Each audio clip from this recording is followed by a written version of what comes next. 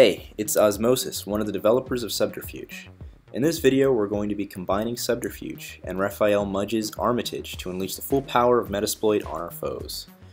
More specifically, we're going to use Subterfuge to create a man-in-the-middle condition, then use Code Injection module to inject our exploit into the victim's browser, and finally, we're going to use Armitage to hand our exploits to our targets. For starters, we're going to go ahead and start up Subterfuge. We're using a Kali Linux virtual machine, it should be 1.0.6. Uh, we're going to start up Subterfuge on the external interface. What this means is that we're going to hand Subterfuge our external IP address so that other machines can use it to control Subterfuge. We use the dash S command switch for this. We specify our external IP address and the port we want to serve it up on. This means that we'll be able to control Subterfuge from our OSX host machine despite um, the fact that Subterfuge isn't actually running on OSX or capable of running on OSX for that matter. You don't have to do this, but uh, I do like to. So on OSX, we'll just go ahead and type in the IP address, colon the port, hit enter, and that'll refresh the browser. Um, now we're there. We're going to uh, do this attack from scratch. So whereas Subterfuge is actually very capable of auto-configuring the attack, and it does a really good job of it, really good job of guessing what your network configuration is, all that jazz.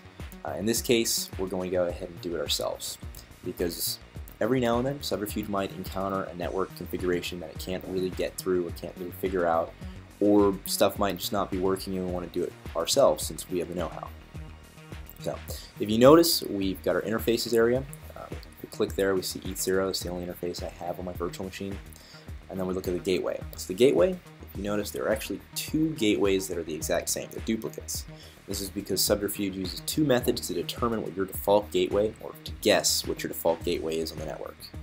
Um, in this case, both methods successfully returned the same gateway, uh, so you see the same one twice. Eventually, we're going to go ahead and have it aware of the duplicates so that it can get rid of them by itself. Uh, but for now, know that those two duplicates are what they seem. They actually are the same IP address. We're going to go ahead and do this manually though. So if we hit manual gateway, we can type in what our own uh, IP address is. Just type that in, and once we hit apply, that'll set our, our gateway manually. Um, now you can refresh the page, and if you refresh the page, your gateway will show up. In our case, the gateway stayed 192.168.1.1 because we'd already configured it that way. If you were configuring your gateway differently from what was specified, you'd see a change when you refresh the page. Now we'll go ahead and set up our minim vectors. Subterfuge comes pre-configured with four different minim vectors, ARP cache poisoning, uh, wireless AP generation, WPAD hijacking, and rogue DHCP. Now it's not a good idea to use multiple vectors simultaneously because some of them will conflict with each other, most specifically WPAD hijacking and ARP cache poisoning. If you run those at the same time, your attack is likely to fail uh, because the two vectors will fight and nothing good will happen. So if you set ARP cache, ARP cache poisoning and click apply, that'll set that up. Make sure that none of the other checkboxes are set. If we go to configuration, we can see all of the uh, rate sliders uh, for subterfuge. This is important for us because it gives us a really good example of what Subterfuge does. For instance, the first one, the page reload rate, uh, it's by default set to 3 seconds. This means that if we're ARP cache poisoning the network and we're harvesting credentials, it means that if somebody logs into something, within 3 seconds we'll see their credentials in plain text. More importantly for our purposes today though, is the injection rate slider. Uh, Subterfuge is smart about injecting uh, people's browsers it knows that uh, if you go to a website like Yahoo, Yahoo actually pulls in multiple external resources, all the news sites and stuff, uh, every time you load a page, which means that if Subterfuge were injecting every page, it would inject every one of those external resources over and over again. If you're sending an exploit, you'd send the exploit like 15 different times just when you went to Yahoo. So by default, it's set to 6 seconds. Uh, that allows us to, say, let a user load a page, inject that page once, and then we move on to another page in 6 seconds-ish uh, we'll inject that next page. Uh, but since we're going to be using an actual exploit here, we're going to want to set that injection rate up really high. We're going to set that to 30 seconds. This means that uh, when somebody browses to a page, we'll inject that user's page once, and then we won't inject again for 30 seconds. This means that we won't send the exploit multiple times and keep crashing their browser over and over and over again. Helps us maintain a little bit of stealth when doing a really, really um, unstealthy attack. To be frank, cache poisoning can be pretty loud against the network and very harsh, certainly. Uh, there are a couple other options you see here. Uh, dynamic retention is the most important one. Uh, it's a technology we added into Subterfuge, and it helps you maintain uh, the stability of an ARP cache poisoning. ARP cache poisons, uh, you tend to lose the poison for a decent amount of time while attacking an adversary.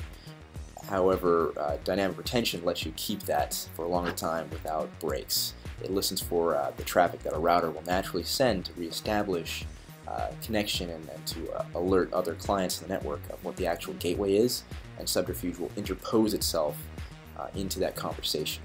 Now, some routers and some network topologies don't really like this, and they'll freak out, and everything will break and go down. We've noticed about a 50-50 uh, work versus failure rate with this, but if you know it works, it's going to increase your attack, uh, the capability of your attack. By default, dynamic retention should be set to off, and we're going to leave it off. Um, just go ahead and click apply, and um,